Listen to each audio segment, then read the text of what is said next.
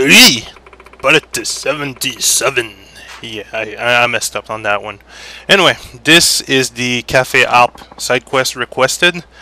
Um, it's not, I can't really complete it at this chapter or, yeah, I can't complete it at this chapter. So I'm, I can start on this chapter, but I cannot complete it on this chapter.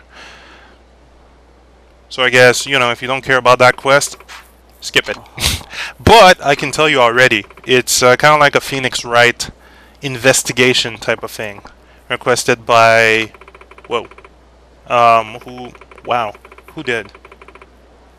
Who requested that? I think it's either Demon Lord 44 and Car no, it's um LG65. LG65. Yeah, it's the last quest he requested. Wow, I, I gotta make an official list of those requests. They're still in my inbox, so it either pops up in my head when I'm like, ah, chapter chapter eight, nine. I gotta go, gotta do it. Anyway, brief resume. Murder happened a couple of years ago. Kid was the reporter. He didn't get all the facts straight, and he didn't want the article to be released, but it was released without his consent. So an innocent guy went in jail because of that article and now he's trying to right his own wrong.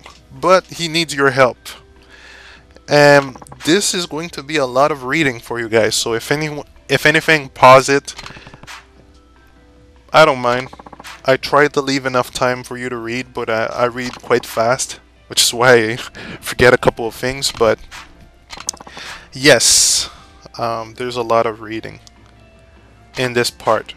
And this video is mostly about this one quest because there's a fuckload of information you need on it. You're even provided tools to search for the suspects or um, witnesses. Not really witnesses, just people around in that case to get more information. So, um, at first, you know, when I did this, the video lasted around 20 minutes because I looked for the person or tried to look for a person related to that quest and I couldn't find anyone in the building. And the problem is, well, this incident happened due to uh, they give you an information about a person you will find at night. And since we're daytime, we can't find that person. So I gotta wait or remember to pass in this city when it's nighttime and continue on the quest. So this a feature I didn't really like because there wasn't really any ends. And you know at first you don't think about uh, going from chapter to chapter to do a quest you know? There's not really any consistency at times. except with um, the weird Mishiru or what's her what her name is you know, drag queen. And even then, that quest make you think, oh, well, I ditched her, it's over, you know? You get the experience, but then you follow up after. Anyhow, just, you know, minor things. But I still like the game's, the game design with this game, overall. Anyway, here's a brief resume of what happened. And you do get to know where the suspects are. Mind you, I do not play Clue that much, or Phoenix Wright. I've only played the first one. I like the series, but not my cup of tea. I like getting into the action. But I did like uh, Deadly Premonition a bit, even though it was weird as hell. Gave me a bit of a Suda 51 vibe. And is the Yakuza 4 demo still on the Jap PSN? I know I re-downloaded it by luck via my account there, but I think it's been removed, officially removed. I'm not too sure. Anyone, if you know, check it out. Good demo. They fixed a lot of things. I respect that studio. Uh, kind of studio that fixes things. Like, if you look from Yakuza 2 to 3, there's a huge gap, a huge step up even though it's, you know, the usual next gen step up, there's been more added to it and the battle engine has been refined. I, I appreciate and uh, respect that kind of work. Which, you know, a lot of time. Oh, killed by a blunt cigarette, cigar stand. but, um, yeah, you don't see that a lot or that often, you know?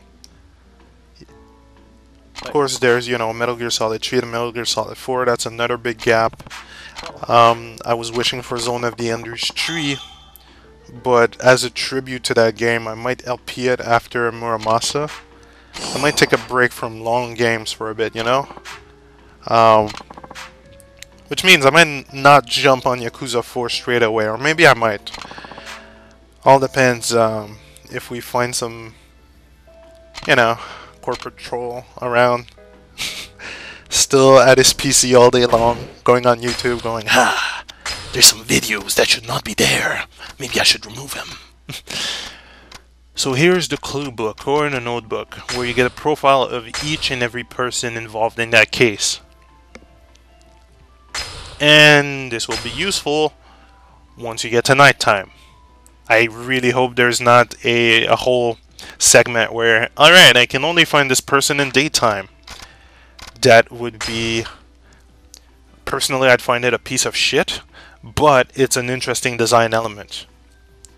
Because, you know, you have a quest going from going from chapter to chapter with consistency, that would be very, very interesting.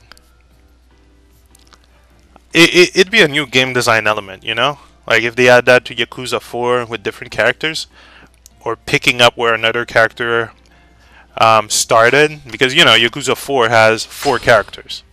Fitting, you know, Yakuza 4, four characters, four different fighting style. But uh, yeah, they've made. I've tried out the demo. They've made a lot of improvement.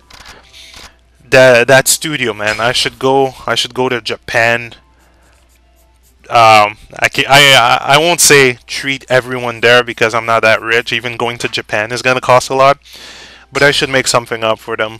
Um, they have a lot of work, a lot of work, and I should go back and play Shenmue again fully to um, see the evolution. Even though it it would be like going back to Yakuza One. Anyhow, quite interesting. Um, again, Vanquish, good stuff. Go check it out. and apparently, there's this new project by Suda51, um, cooperating with Shinji Mikami and potentially published by EA. Um, Shadow of the Damned. Alright, whoa! One huge crossover of developers. All Capcom refugees, um, except EA. Anyhow, next vid, more stuff. Later.